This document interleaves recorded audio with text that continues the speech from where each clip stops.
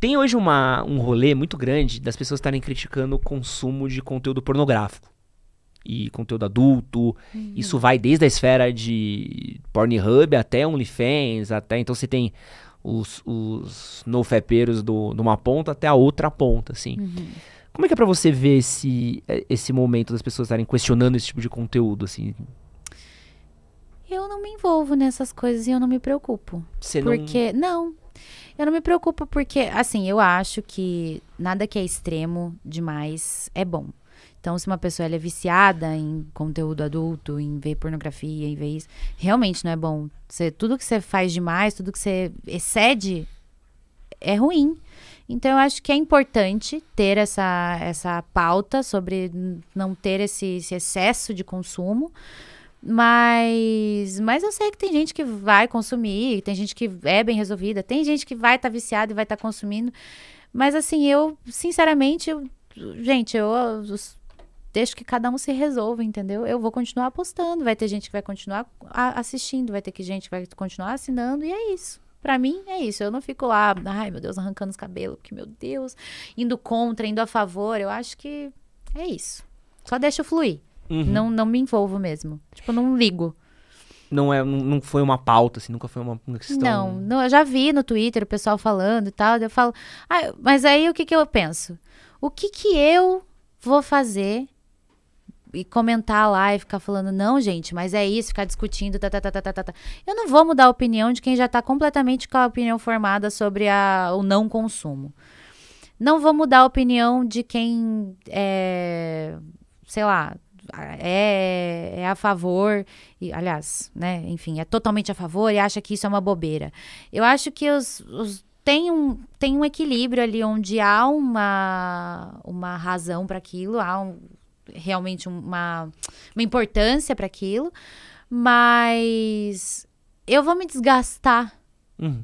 lá discutindo, tentando fazer os outros mudar de. Eu não. Vai continuar tendo discussão, eu vou lá, eu me arrancar os cabelos, eu não, deixa que discuta. E, uma das críticas que veio, assim, até uma coisa que a gente trouxe aqui a, a Letícia Balducci um, uns anos atrás pra gente conversar, a gente falou muito sobre a própria indústria, né? A indústria é, pornográfica, quando ainda estavam estabelecidas os próprios grandes estúdios, as grandes produtoras, aqui no Brasil a gente tinha brasileirinhas, mas você tinha é, Butchman, tinha diversas outras até mais questionáveis, Girls do Porn, que teve toda a polêmica que rolou dentro do Pornhub, um pouco sobre essa exploração dentro dos atores, das atrizes, até mesmo de pagamentos, a gente teve documentários sobre isso, e você sempre foi muito independente, né, quando você produziu conteúdo.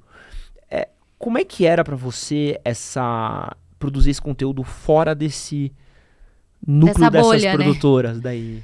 É... é isso, eu me sentia livre eu não, eu, eu não me preocupava com isso pelo fato de, de eu ter a minha independência dentro do meu próprio conteúdo, entendeu? Então, eu acho realmente extremamente importante a, a atenção para isso, porque realmente existe e existiu muito, muita exploração, e eu acho que ninguém merece ser explorado de forma nenhuma, ainda mais, né, nesse contexto. Eu acho que nesse contexto é. Acho que para pra mente, assim, da, da pessoa é pior ainda. Então, você ser explorado, né, sexualmente, querendo ou não. É, mas eu, como eu disse, eu nunca me, me preocupei a, de fato com o meu nesse, nesse ponto, porque eu sempre fiz de maneira independente. Eu nunca quis fazer parte de nenhuma indústria, nunca quis fazer cena com ninguém, nunca quis, nunca quis. Então, é isso. Mas convite rolava? Rolava, nossa, rolou vários convites, mas eu não. E a bala sempre... era boa ou era. Alguns eram, alguns não, alguns não valiam a pena, porque eu tinha visibilidade, então para mim não, não compensava. Tipo, às vezes era bom, mas era tipo assim, ah, tá, não vai fazer diferença, entendeu? Então, e mesmo que fizesse também, não era interessante para mim, para minha imagem, para o que eu acreditava, tipo de, de, tipo assim, a minha imagem é minha, eu quero ganhar com a minha imagem sozinha, tipo, não quero que uma empresa ganhe com a minha imagem, né? Tô lá postando me, me, me me exibindo e outra pessoa, outra é, uma empresa vai estar tá ganhando com a minha imagem, sendo que às vezes eu vou ganhar uma cena e aí eles vão ficar ganhando para sempre. Então eu falava, eu pensava, eu falava não, não quero.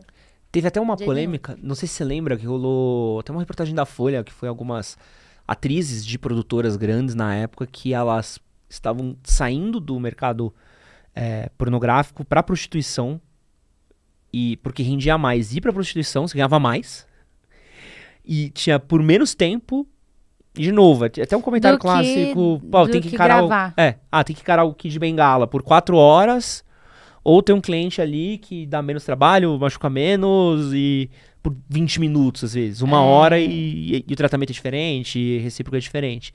Então teve um a indústria ela deu uma quebrada de certa forma, né? Eu acho que a, a questão de, de- dos conteúdos independentes dos canais no Pornhub, é, do OnlyFans, inclusive, ele trouxe uma, uma individualidade para as pessoas, assim, e libertou as pessoas de- de- dessa, dessas indústrias, assim, de, ah, eu vou virar ator pornô, atriz pornô, sabe?